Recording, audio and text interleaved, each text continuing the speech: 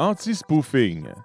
La biométrie est l'une des méthodes d'authentification les plus sûres et les technologies anti-spoofing contribuent grandement à leur efficacité. L'anti-spoofing aide à dissuader les piratages physiques sur un système biométrique, comme par exemple l'utilisation d'une fausse empreinte digitale, et les solutions biométriques réellement sécurisées sont constituées de deux mesures qui vous aideront à évaluer la sécurité d'un système.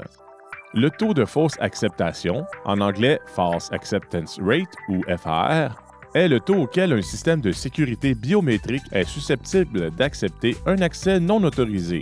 D'autre part, le taux de faux rejet, en anglais False Rejection Rate ou FRR, est le taux auquel le système est susceptible de rejeter l'accès d'un utilisateur autorisé.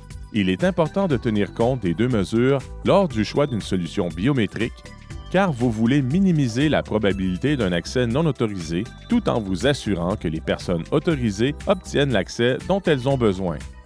Assurez-vous de penser à des produits qui ont pour objectif de surpasser les normes de l'industrie en termes de FAR et FRR lorsque vous choisissez une solution biométrique.